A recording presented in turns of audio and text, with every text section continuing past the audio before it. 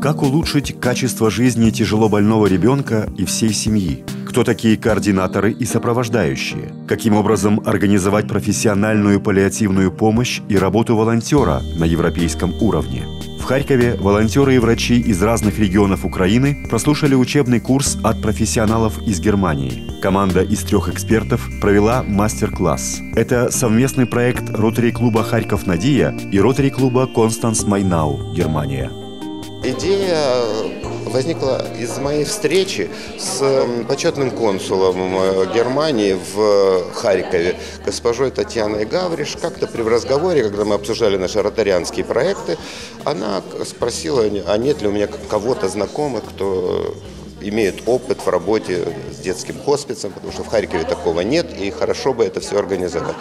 И случайно, а скорее всего не случайно, у меня вот так, э, наши близкие знакомые, руководитель хосписа в нашем городе, городе Констанс, и мой клуб, э, клуб Констанс Майнау, выделил средства на этот проект. И вот э, с этими средствами мы организуем здесь учебу. Этот проект поддерживается со стороны Германии клубом «Констанс Майнау» со стороны Харькова. Этот проект поддерживает клуб «Харьков Надия». И тут и целая группа очень активных, очень э, горящих людей, которые помогают в этом проекте. Это вот Светлана Фельдман, президент клуба «Надия», это вот э, Ирина э, Юмперц. Представители хосписного центра города Констанс рассказали, как развивался процесс помощи, собственно, в Германии.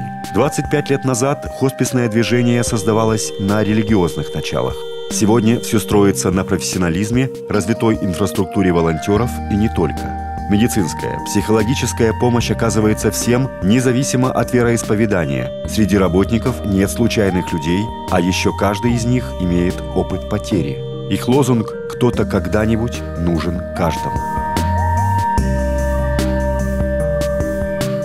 Для нас очень важно получить опыт а, работающего хосписа, услышать советы а, практикующих и специалистов, и волонтеров, и для того, чтобы в нашей стране, среди тех людей, которые хотят заниматься паллиативной хосписной помощью, чтобы формировались правильное представление, правильные стандарты и правильная дорожная карта. Если речь идет о волонтерской поддержке, то э, понятное дело, что у нас нет э, выездных служб, и речь идет сейчас именно о том, как применить опыт Германии в украинских реалиях, потому что выездная паллиативная команда нужна, и уже много лет специалисты, врачи э, борются за то, чтобы такая команда была.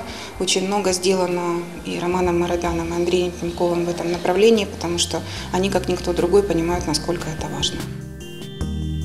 Хоспис Германии – это медицинское учреждение, где оказывается комплексная медико-социальная помощь с обезболиванием включительно. В основном там находятся дети с неонкологическими хроническими заболеваниями, поражение центральной нервной системы, генетические заболевания, синдром Гурлера или Хантера, тяжелые формы ДЦП и прочее. Онкологические же пациенты получают помощь на дому или в клинике.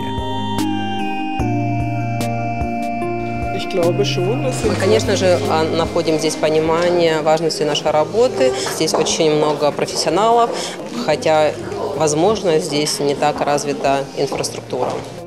Моя деятельность началась в 1995 году в хосписе города Констанс. А, у нас этот процесс тоже был достаточно трудоемкий. Нужны люди, у которых будет большое сердце, которые найдут в себе мужество а, заниматься этой деятельностью. Эксперты убеждены, что каждый может выбрать себе ту нишу, тот вид помощи, в котором он чувствует себя наиболее комфортно. Есть волонтеры, готовые помогать хосписам, но не ручаются за свои эмоции. Они так и говорят, что пока не готовы общаться с семьями, но могут помочь как-то иначе. Что же касается политики европейских хосписов, то она построена на полном доверии и открытости. Если ребенок спрашивает о самом главном, то получает честный ответ – а некоторые традиции могут показаться вообще слишком пугающими.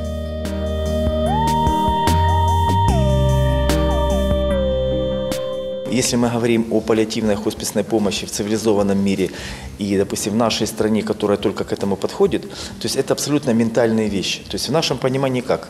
Нужно пациента спасать до последней секунды, делать все. То есть э, это нас так учили.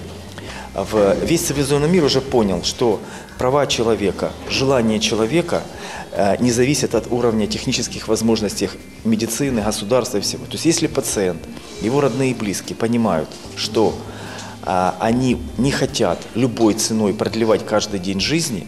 Для них важно не просто э, продлевание каждого дня, для них важно наполнение каждого дня, который остался да, до ухода на небо, каждого дня э, без боли, без страданий. Это абсолютно другая парадигма.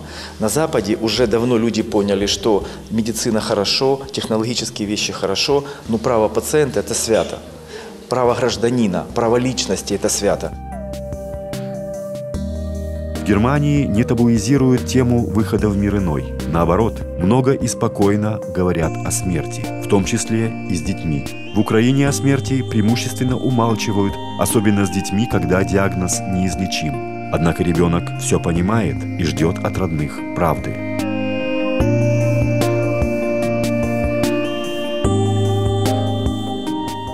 Это правда очень важная работа. И то, что э, приехали наши коллеги из хосписа, из немецкого, из Германии, это, это как глоток воды, я считаю, для нашего общества. Это помощь в организации пространства, где э, процессы смерти умирания, горевания должны быть реализованы в нашем обществе. Если мы отодвигаем эту тему, хотя мы, каждый из нас столкнется с этим рано или поздно, мы тогда остаемся не готовы, не подготовлены к тому, когда это придет. И вот система хосписов – это как раз то, где это может происходить. Всегда кто-то должен сделать этот первый шаг, э, и я думаю, что все получится. Я поняла в Германии, что неважно, э, в какой стране ты живешь, неважно, богат ты или беден, когда болен ребенок, это одинаково больно и родителям, и э, другим членам общества это тоже больно, и они стараются помочь. Проблемы у нас и переживания одинаковые. И это даже очень радует, потому что, мне кажется, сейчас чем больше людей будут делать добро в тех своих, пусть маленьких, но пределах возможностей, тем станет нам всем лучше.